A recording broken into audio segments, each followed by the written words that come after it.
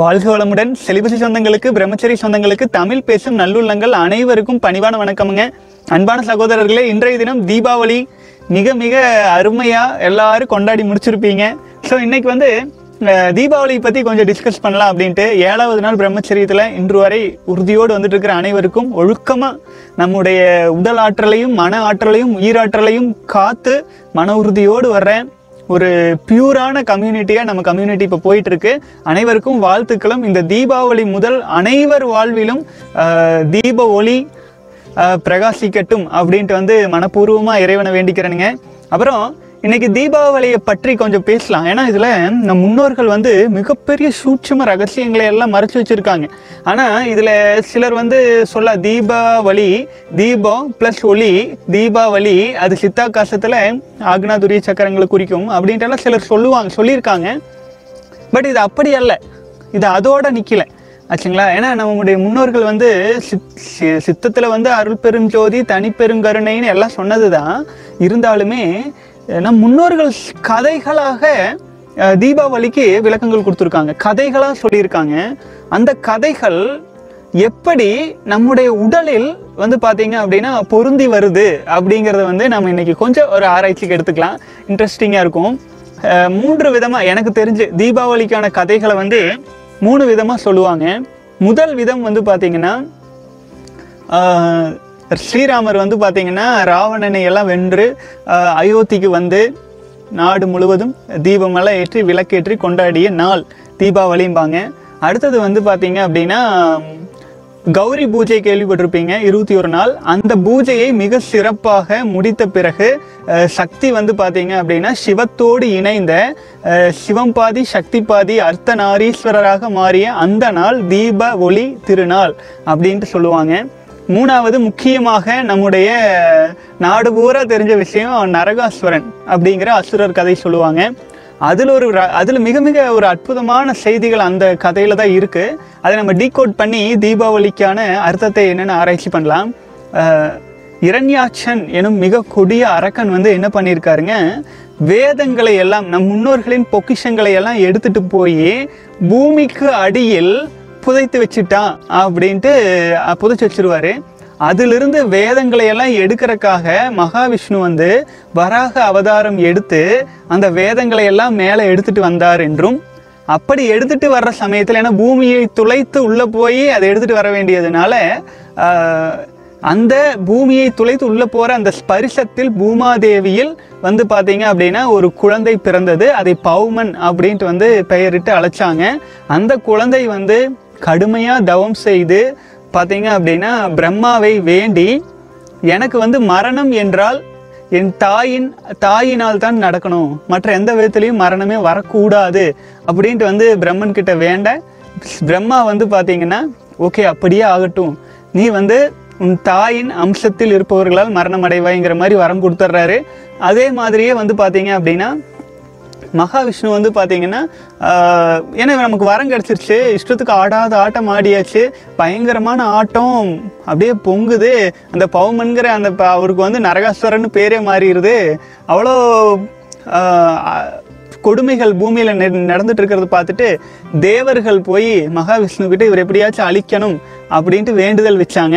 அப்போ தான் வந்து பார்த்தீங்கன்னா பூமாதேவி வந்து சத்யபாமா அப்படிங்கிற பெயரில் பெண்ணாக பிறந்திருப்பாங்க. கிருஷ்ணர் வந்து பூமி அவதாரம் எடுத்து வந்து சத்யபாமா எனும் அப்பெண்ணை மனம் புரிந்து போருக்கு போகிறாரு அந்த நரகாசுரனை அழிப்பதற்காக. அப்படி போருக்கு போகிற அந்த சமயத்தில் கிருஷ்ணர்னால அந்த அர- அசுரனுக்கு வந்து மரணம் கிடையாது. தாயால் தான் மரணம் வரும்ட்டு வேண்டுதல் இருந்துச்சு. ஆகவே வந்து பார்த்திங்கன்னா நம்முடைய நரகாசுரன் விட்ட அம்பு கிருஷ்ணரை நோக்கி அம்பு விட்டுறாரு. அது போய் அவரை தாக்க தாக்குனோடனே அவர் மயக்கமாயிடுறாரு. தன் கணவனையே வந்து அழிச்சிட்டானா இவன் அப்படின்ட்டு கோபம் வந்து சத்தியபாமா யுத்தத்தில் இறங்கிடுறாங்க.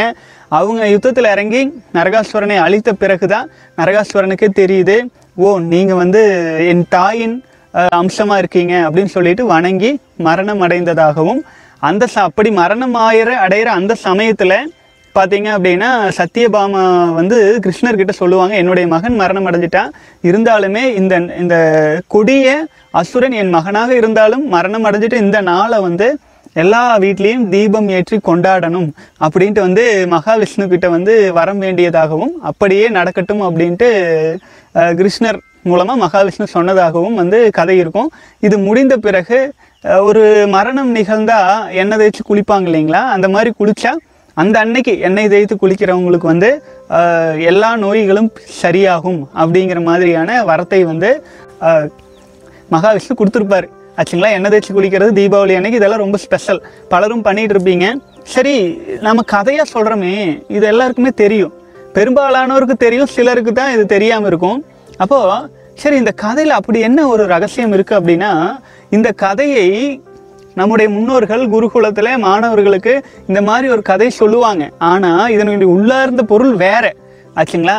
அது என்ன உள்ளார்ந்த பொருள் அப்படின்னு பார்த்தீங்கன்னா இரண்யாக்ஷன் எனும் அசுரன் வேதங்களை எல்லாம் கொண்டு போய் மண்ணில் புதைச்சி வச்சுட்டான் அப்படிங்கிறாங்க இல்லைங்களா? ஒன்றுமே இல்லை.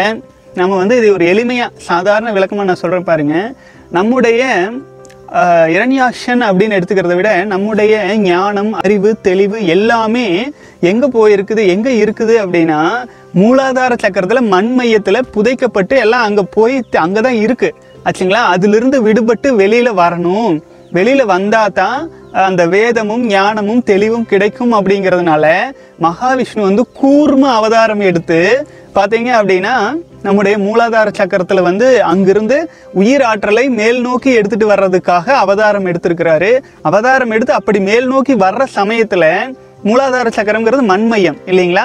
அப்போ மேல் நோக்கி வரும்போது சுவாதிஷ்டான சக்கரத்தில் பார்த்தீங்க உயிரணுக்கள் பெரும்பாலும் தேக்கமுற்றிருக்கிறது சுவாதிஷ்டான சக்கரம். சுவாதிஷ்டான சக்கரத்திலிருந்து தான் உயிரணுக்கள் வந்து பார்த்தீங்கன்னா ஸ்பெம்ஸா மாதிரி ஒரு உயிரை தோற்றுவிக்கும்.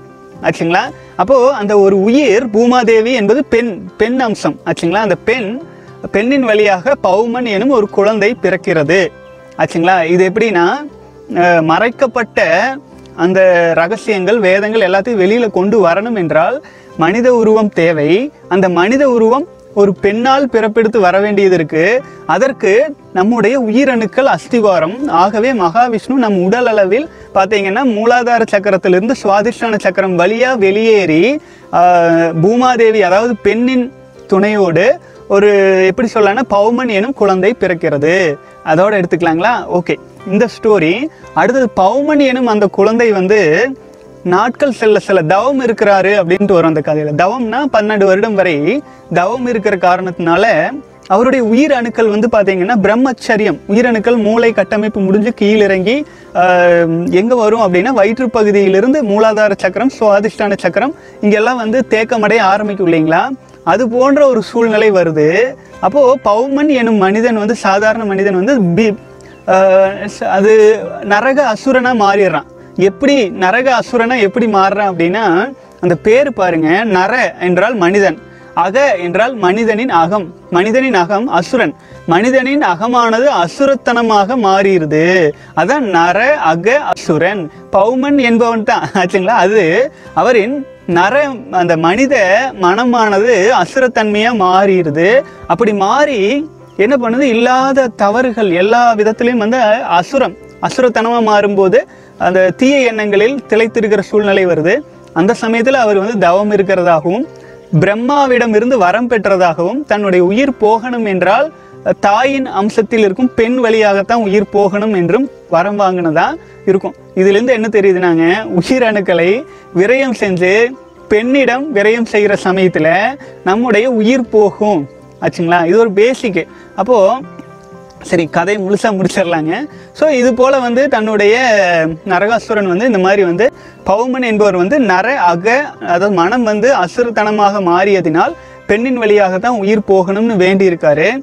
அதே சமயத்தில் இ- உண்டு- உடலில் இருக்கும் ஒவ்வொரு அங்கங்களும் ஒரு ஒரு தேவர்களுக்கு சமம். ஆச்சுங்களா? அப்போது ஒவ்வொரு ஒரு தேவதைகள் ஒரு ஒரு சக்கரமும் ஒரு ஒரு தேவதைகள். அப்போது அந்த தேவர்கள் தேவதைகள்லாம் வந்து மகாவிஷ்ணு கிட்ட போயிட்டு இந்த மனசு அசுரத்தனமாக மாறிடுச்சு அதை எப்படியாச்சும் அழிக்கணும் அதுக்கு வந்து நீங்கள் தான் அவதாரம் எடுத்து வரணும் அப்படின்ட்டு வந்து மகாவிஷ்ணு கிட்ட வேண்டுதல் வச்சதாகவும் அப்போ நம்ம உடல் மகாவிஷ்ணுங்கிறது விந்து சக்தியாக உயிரணுக்களாக நம் உடலில் இருக்கிறது. ஆச்சுங்களா? மகாவிஷ்ணு பால்கடலில் பள்ளி கொண்டவர். அப்போ சுவாதிஷ்டான சக்கரத்தில் அங்கே தான் போய் அந்த வேண்டுதல் வைக்கப்படுகிறது. மகாவிஷ்ணு என்ன செய்கிறார் அப்படின்னா அவர் வந்து அவரால் வந்து அந்த மனதை தூய்மை செய்து விட இயலாது. அப்போ அதுக்கு யாருடைய துணை வேண்டும்? பெண் தன்மை உடைய அவங்களுடைய தாயாரே வந்து பார்த்தீங்கன்னா அதனுடைய அம்சமாக இருக்கிற பெண் தன்மை அதாவது நாதத்தோடு போய் சேர் நாதத்தின் மூலமாகத்தான் அதை ஜெயிக்க முடியுங்கிறனால மகாவிஷ்ணு மேல் நோக்கி சென்று சக்தியாக வாழையாக சத்திய பாமாவாக இருக்கிற அந்த சக்தியோடு இணைஞ்சு இந்த அசுரம் மனம் வந்து அசுரத்தன்மை அடைஞ்சிருக்கு இல்லைங்களா? அதற்கு எதிராக போருக்கு வராங்க. அப்படி போருக்கு வரும்போது நம்முடைய உயிரணுக்கள் மேல் நோக்கி சென்று ஓஜஸாக மேல் நோக்கி சென்று அது வந்து மறையுது அதாவது வந்து மகாவிஷ்ணுவின் மீது அம்பு செலுத்துறாரு. அந்த அப்போ அந்த செலுத்தப்பட்ட அம்பான அம்பினால் மயக்கம் அடையும் போது சக்திக்கு கோபம் வந்து இந்த அசுரத்தனமான மனதை அழிக்கிறாங்க. அந்த மாதிரி அழிக்கிற சமயத்தில் நம் மனதில் இருக்கும் கலங்கங்கள் அழிக்கப்படும் சமயத்தில் ஆகுனா துரிய மனோன்மணிய சக்கரங்கள்லாம் விழிப்படைஞ்சு விளக்கு பிரகாசம் எரிகிறது. அருள் பெரும் ஜோதி தனிப்பெரும் கருணை என்று ஏற்றப்படுகிறது. இதுதான் தீப ஒளி நாள் தீபாவளி. ஆச்சுங்களா?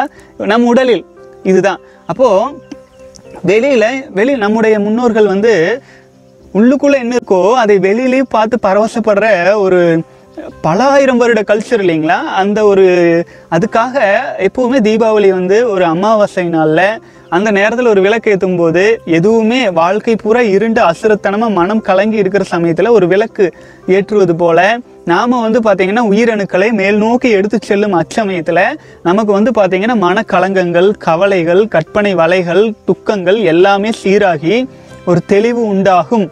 அப்படிங்கிற ஒரு நோக்கத்தோடு இது வந்து கொண்டாடப்படுகிறது. ஆச்சுங்களா? சரி இப்போ வந்து நம்ம இவ்வளோ தூரம் விளக்கம் கொடுத்துருக்குறேன். உங்களுக்கு ஏன்னா எனக்கு தோணுதை உங்களுக்கு புரியிற அளவுக்கு சொல்லியிருக்கிறேன்னா அப்படிங்கிறது அது இறைவன் பாதத்திலேயே வச்சிடறேன். அப்போ இவ்வளோதானுங்க ஆச்சுங்களா?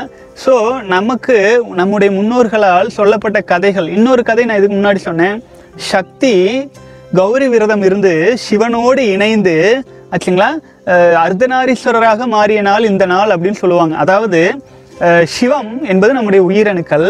மேல் நோக்கி சென்று சக்தியான வாழையோடு இணைந்து இருவரும் சமமாக அர்த்தநாரியாக வாழையோடு இணைந்த அது தீப ஒளி தானே அது தீபாவளி நாள் அப்படின்ட்டு அதே மாதிரியே வந்து ராமர் ராவணர். ராவணரை வென்ற ராமர் வந்து ஊருக்கு வந்து அயோத்தியாவில் வந்து விளக்கு பிரகாசமான விளக்கு ஏற்றுறது அதாவது அசுரர்களை அழிச்சிட்டு வந்து வந்தால் வந்து பிரகாசமாகும். வெளிச்சம் கிடைக்கும் தீப ஒளி கிடைக்கும் அப்படின்ட்டு ஒரு நம்ம பாரத தேசத்தில் பல கலாச்சாரங்கள் உண்டு. ஆனால் எல்லோருமே இணைந்து அவரவர்களின் இதுக்கு தகுந்தாற் போல ஒரு கதையை வச்சு சிறப்பித்து இந்த நாளை சிறப்பித்து கொடுத்துருக்காங்க அப்படின்னா இந்த தீபா ஒளி நாளானது சாதாரண நாள் இல்லை. இந்த சமயங்களில் இரவு நேரங்களில் விரதம் எடுத்துக்கொண்டு இந்த அமாவாசை சமயத்தில் இந்த தீப ஒளியை ஒளிரச் செய்து ஆச்சுங்களா? ஒளிரச் செய்து ஒரு இந்த நாளை கொண்டாடணும்னு அனைவரையும் நான் பணிவோடு வேண்டிக்கிறேன். நம்முடைய பிரம்மச்சரிய பிரம்மச்சரிய பயணத்தில் இருக்கிற அனைத்து சகோதரர்களுக்கும் பார்த்தீங்க அப்படின்னா இதை பற்றி ஓரளவு நல்ல புரிதல் வந்திருக்குன்னு நினைக்கிறேன். வாழ்க வளமுடன். இதில் இன்னொரு ரகசியம் பாருங்கள் மகாவிஷ்ணுவை மாதவன் சொல்லுவாங்க. ஆச்சுங்களா? மாதவன் கிருஷ்ணரை மாதவன் சொல்லுவாங்க. ஏன்? மன்னன் சொல்லுவாங்க. மாமன்னன்னா பெரிய மன்னன். தவன். மாதவன்னா மிகப்பெரிய தவம் செய்கிறவர் தவத்திலேயே இருக்கிறவர் அப்படின்ட்டு. கிருஷ்ணருக்கு அப்படிதான் பேரு. கேச அவன் கேசத்தில் தன் ஆற்றலை எடுத்து சென்று கேசவனாக கேசத்தில் இருப்பவன் அப்படின்ட்டு தவம் செய்பவன் அப்படின்ட்டு சொல்லுவாங்க. அதே மாதிரியே பல விஷயங்கள்ங்க. எல்லாமே வந்து நாதர். நம்முடைய ஆற்றலை மேல் நோக்கி எடுத்து சென்று நாதத்தோடு இணைத்து நாதர் அவர் எனக்கு நாதரேன்னு சித்தர்கள் சொல்லுவாங்க. இது போல இந்த தீப ஒளி அப்படிங்கிற நம்ம உடலில் பிரம்மச்சரிய பயணத்தில் இருப்பவர்கள் அனுதினமும் ஏற்றிக்கொண்டு இருக்கிறாங்க சாதாரண மக்களுக்கு இப்படி ஒரு நாள் இருக்கு. இதன் மூலமாக நம்ம ஆற்றலை வந்து மேல் நோக்கி எடுத்துட்டு வரணும் அப்படின்னு புரிதலுக்காக நம்முடைய முன்னோர்கள் அழகா எடுத்து வச்ச விஷயங்கள் தான் இன்றைய நாளாக பண்டிகையாக கொண்டாடிட்டு இருக்கிறோம். இதை வச்சு சிலர் வந்து அரசியல் பண்ணிட்டு கா சாப்பாட்டு பொழப்புக்காக என்னென்னவோ பேசிட்டு இருப்பாங்க. அவரவர்கள் அறிவுக்கு தகுந்தது அவங்க அவங்க இருக்கட்டும்ட்டு அதையெல்லாம் பெருசாக எடுத்துக்கொள்ள வேண்டாம். நாம் நம்மை மேம்படுத்தும் பாதையில் நம்மை வலிமைப்படுத்தி கொள்ளும் பாதையில் மிக மிக இனிமையாக இன்றைய வருடத்தை துவங்குவோம். இந்த தீப ஒளி திருநாள் இந்த வருடம் முதல் பிரம்மச்சரிய பயணம் மேலும் வலிமை அடையட்டும் அப்படின்ட்டு மனதார இறைவனை வேண்டி இன்றைய வீடியோ நிறைவு செய்கிறேங்க மீண்டும் நாளை தினம் அடுத்த நாளை தினத்திற்கான பிரம்மச்சரிய வீடியோவில் தொடர்ந்து பயணிக்கலாம். உங்கள் கேள்விகள் சந்தேகங்கள் எதாக இருந்தாலும் கமெண்ட்ஸில் போடுங்க. நான் இன்றைக்கி வந்து தீபாவளி பற்றி பேசலான்ட்டு கமெண்ட்ஸ் எல்லாம் பார்க்கல. ஆகவே சகோதரர்களே எல்லாமே இணைஞ்சு நாளைக்கு விடையளிக்கப்படும். வாழ்க வளமுடன்.